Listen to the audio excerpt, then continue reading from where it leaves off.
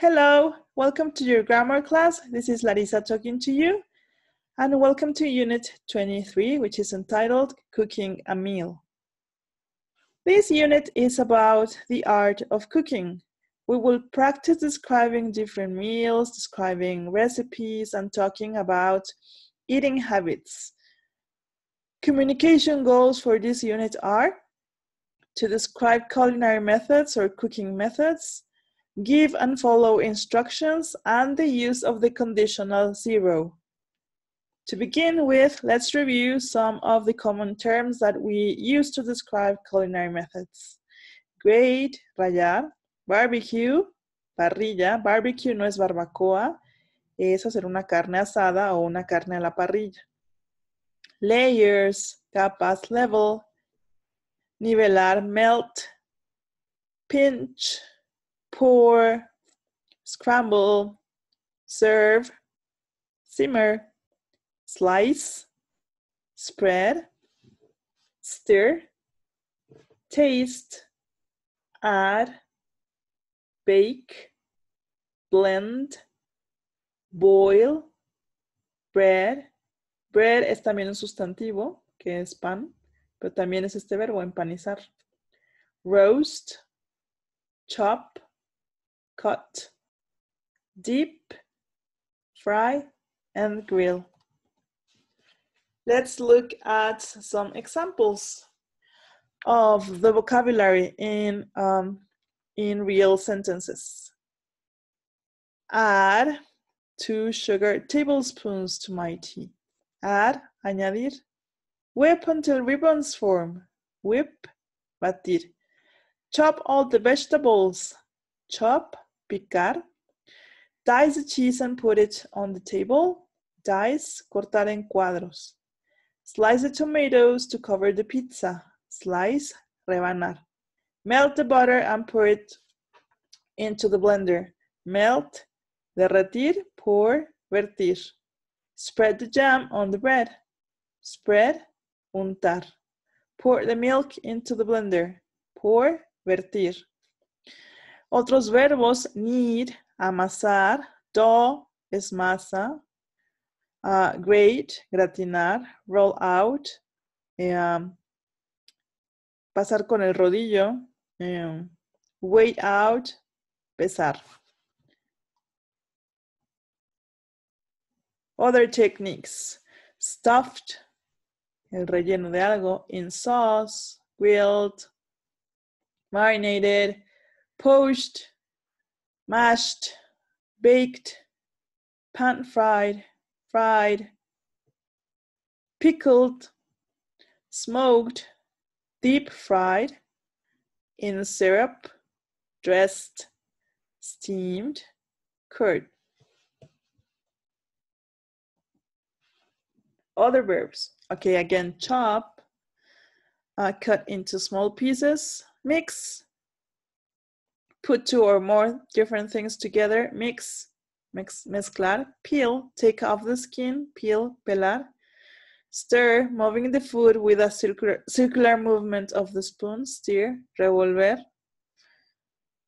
thaw, to become or to let frozen food become soft and ready for cooking. Thaw, eh, derretir.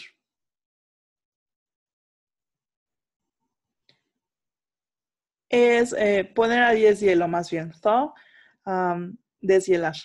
Blend, mixing the food very well using the blender. Blend. Yeah. Sorry. yeah, en, la, en licuar, en la licuadora. Knead to press dough firmly and repeatedly with your hands. Knead, amasar. Drain, to remove liquid from something by letting the liquid flow out. Drain, colar. Marinate, to put meat, fish, or other food in a sauce for a period of time to add flavor. Marinate, marinar. Season, to add salt, pepper, herbs, or spices to food to give the food more flavor. Season, sazonar.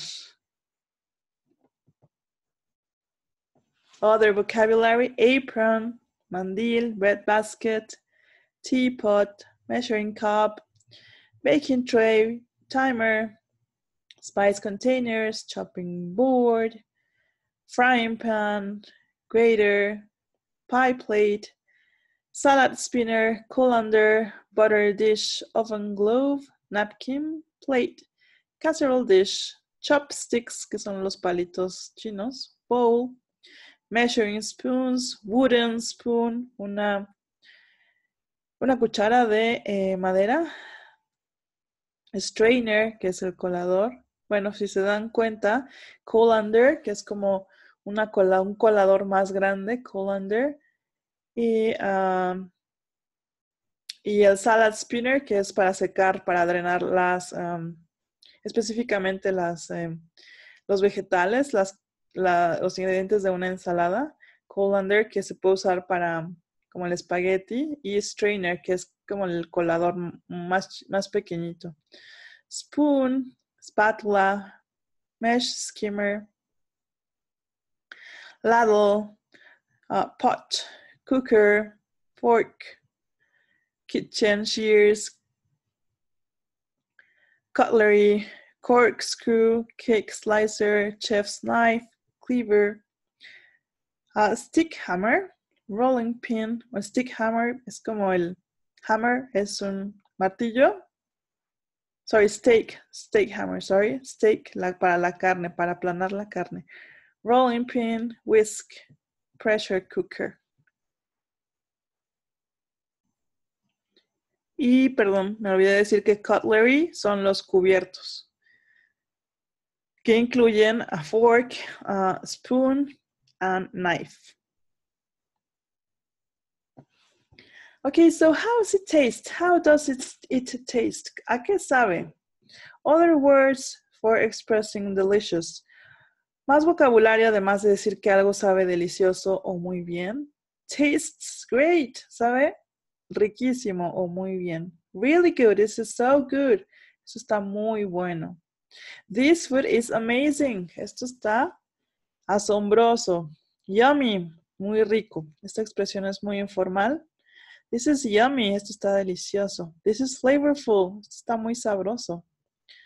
Instead of saying yuck, para decir lo contrario, que algo está, no está bueno, uh, you can say, This food is too salty for me or for my taste.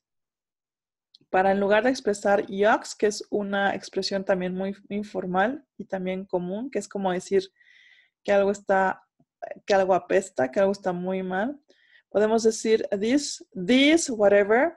For instance, uh, this soup is too salty for me. Esta ya dices la comida, soup, sopa, is too, está demasiado. Y ahí dices el sabor, too sweet, muy dulce, too, uh, too uh, salty, muy salada, too sour, muy amarga. This soup is too salty for me. Um, it could use a little more or a little less. Podrías ponerle menos o podrías ponerle más. En el caso que acabo de decir, la sopa está muy salada. This soup is too salty for me. It could use a little less salt. Podría, podría tener o podrían haberle puesto menos. Y ya dices, ¿qué? Um, this tastes different. I think I prefer uh, another soup. Esto sabe diferente, creo que prefiero. Y ya nombras qué es lo otro que prefieres. That turns my stomach. Eso me hace revolver el estómago. That's revolting or that's disgusting. Eso está muy mal. Está del asco. Me da asco. Ok, vocabulary related to what do you usually eat. Vocabulario relacionado con lo que usualmente comes. Fast food, comida rápida. Home cooked meal, comida hecha en casa. One pot meal, comida que, esto no, no, es tan común esa frase, one pot meal, es como comida que pones en un, mm, en una olla que se cosa ahí por sí misma. Podría ser, eh, no sé, un, no sé hasta qué punto un pozole o unos frijoles puede ser. Dessert, el postre. To have a sweet tooth es que te gustan los postres, las cosas dulces. Tienes un diente dulce. To eat healthy, comer sano. What's your diet? Cuando alguien, cuando estamos hablando acerca de la dieta de alguien, puedes decir I'm a vegetarian, vegetariano. I'm trying to lose weight. Estoy tratando de perder peso. I'm in a low carb diet. Estoy en una dieta de eh, no carbohidratos o bajos carbohidratos. Uh, I have a balanced diet. Tengo una dieta balanceada. And if we talk about the food, si hablamos acerca de la comida, podemos decir, we can say, this is tasteless. Esto no sabe a nada. Está muy, pues no, muy sin sabor. This is burnt. Esto está quemado. This is overdone. Esto se pasó de cocido. This is undercooked. A esto le faltó cocerse. It's fatty, oily, or greasy is the same thing. Fatty, oily, greasy es que está grasoso. Other vocabulary, I'm starving, means I'm very hungry. Could I have another portion or helping of whatever food? ¿Me pueden servir un poco más de lo que sea? I'm full, means I'm satisfied. I'm full, estoy lleno, estoy satisfecho. I'm stuffed, I ate a lot, maybe too much. I'm stuffed, comí demasiado, tal vez muchísimo.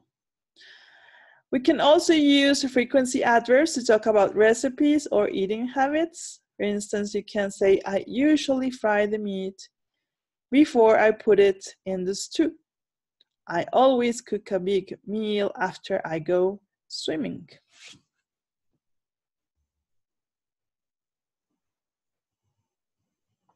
Connecting words or sequencers. We use it to uh, name a sequence of events. Okay, we can use them to split uh, instructions and look at the different categories that we have. Okay, uh, introduction of ideas first, sequencing different actions next, later, then, after that, and conclusion finally.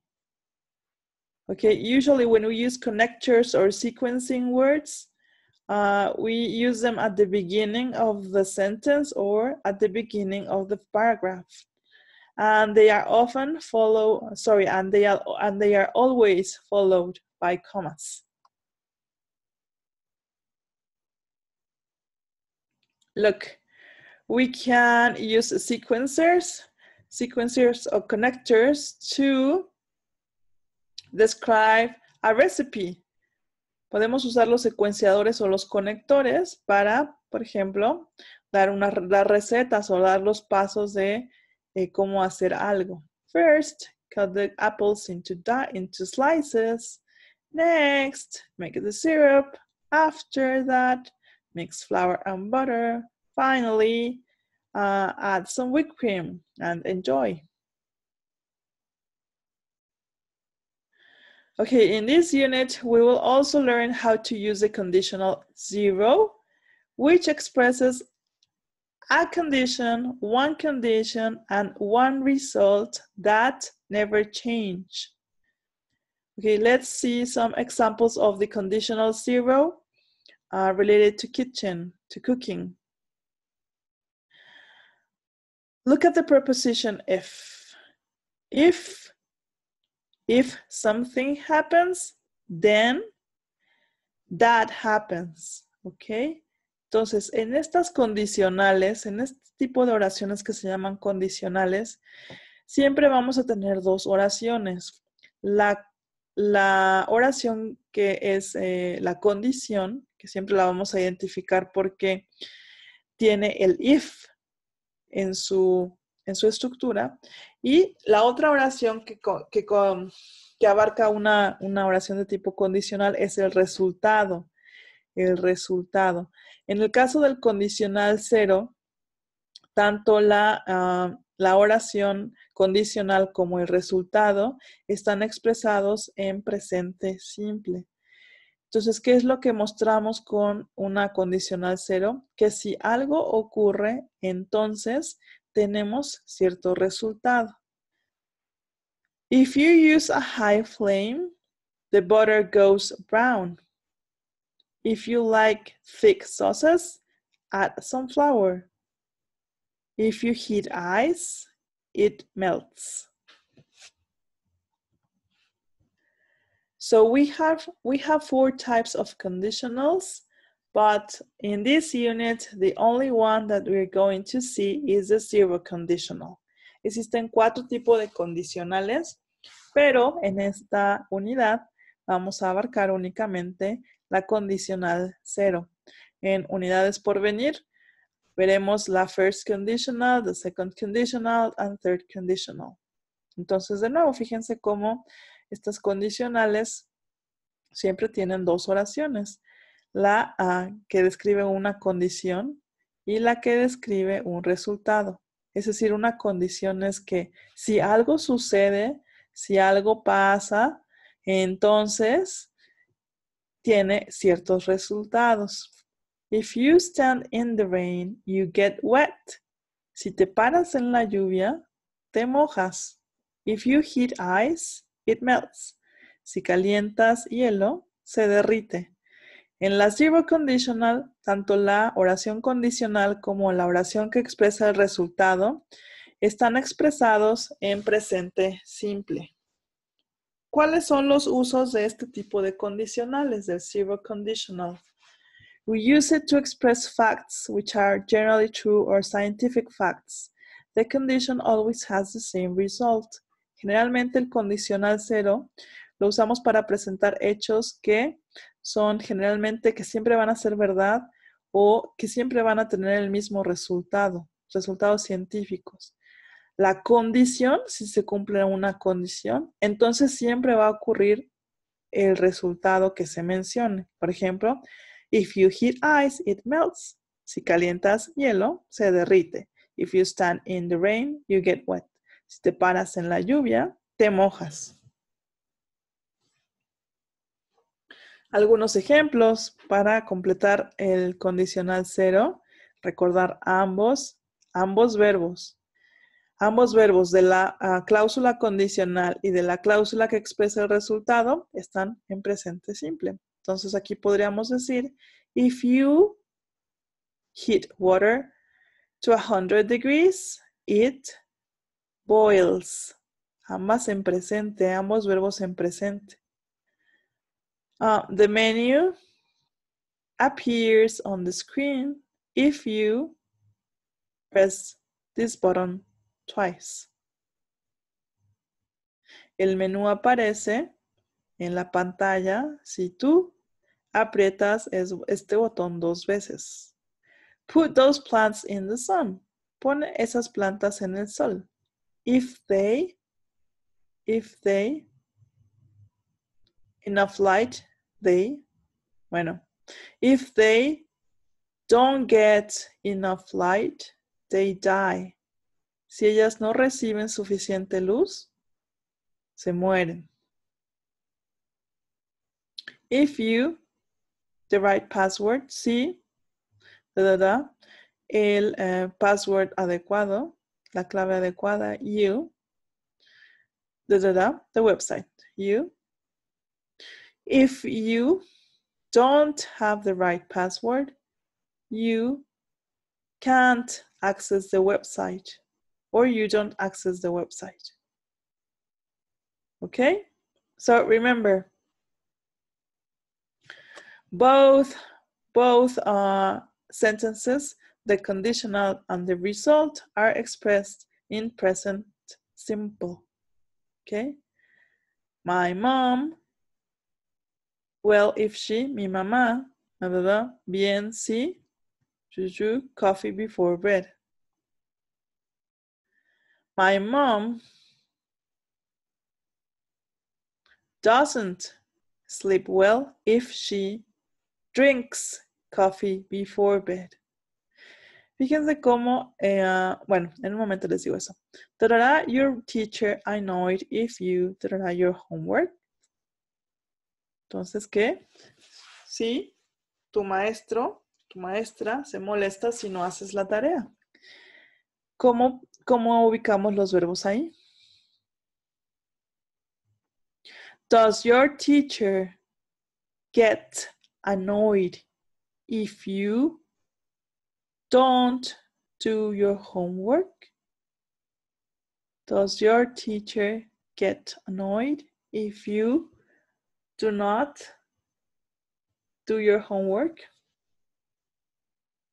Fíjense cómo entonces las cláusulas condicionales, la condición no siempre tiene que ir al principio. Podemos decir primero el resultado y luego la cláusula condicional. Por ejemplo, aquí podríamos decir, you get wet if you stand in the rain. Pero no podríamos decir, it melts if you hit ice. No, ahí no. Ahí tendríamos que decir primero, if you hit ice, it melts. Pero hay muchas ocasiones en las que sí podemos expresar primero el resultado y luego la cláusula condicional, como en estos ejemplos. The menu appears on the screen if you press this button twice. ¿Ok? Bueno, y antes de irnos, ver eh, estos idioms relativos a la comida, ya que ese fue el tema de hoy. Los idioms, recordar que son expresiones eh, particulares a cierto contexto cultural. Eh, ah, en español podríamos decir que es como, el argot o, o, el, eh, o los modismos también. Cosas que solamente hacen sentido dentro de un contexto cultural. A piece of cake. A piece of cake, que literal es una, una rebanada de eh, pastel, quiere decir que algo es fácil, something easy math test was a piece of cake. El examen de matemáticas fue muy fácil. The math test was a piece of cake. Uh, to go bananas, to become crazy. To go bananas, volverse loco. He went bananas. Él se puso loco.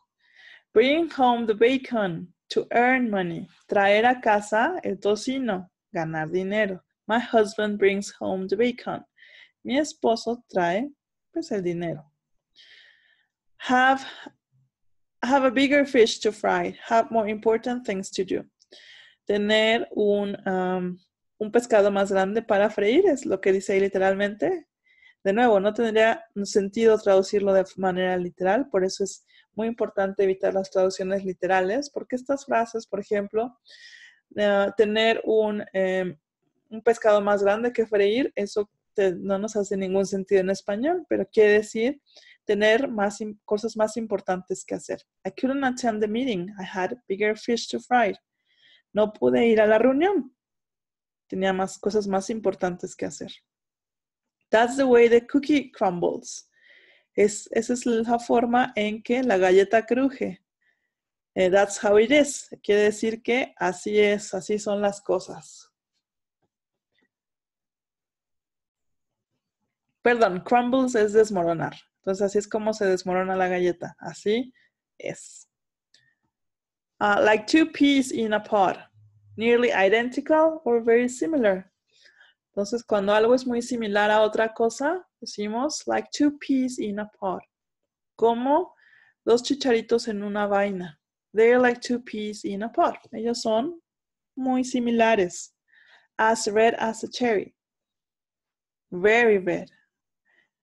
As red as a cherry querría decir, uh, o traduciríamos literalmente, tan rojo como una cereza. Es decir, que es muy rojo. Her cheeks were as red as cherry. Sus mejillas se pusieron muy rojas. Eat like a horse. Um, eat a lot, large quantities. Comer como un caballo, comer mucho. My husband eats like a horse. Mi esposo come mucho. Walk on eggshells. Eh, caminar sobre, eh, ah, sobre la cáscara del huevo. Try hard not to upset someone. ¿Qué quiere decir? Eh, tratar de no molestar a alguien. I've been walking on eggshells around my boyfriend. Entonces, que he estado caminando, que me he estado conteniendo mucho alrededor de mi novio. O sea, que he sido muy precavida con él para no molestarlo. Hard not to crack. Una no es difícil de eh, pelar, de, de, de, partir. A difficult problem or a difficult person. Es decir, que alguien es una persona difícil o que, o también puede referirse a que es un problema duro, fuerte. He's a hard nut to crack. Que él es una persona muy difícil. Um, okay, so these are my suggestions for this week. Aquí hay unas sugerencias relativas al tema de comida de esta semana. Cómo hablar de comida en Oxford Online English. Y phrasal verbs and expressions about food. And learn English with Emma. Okay, guys, thank you for attending this class. See you next week. Bye.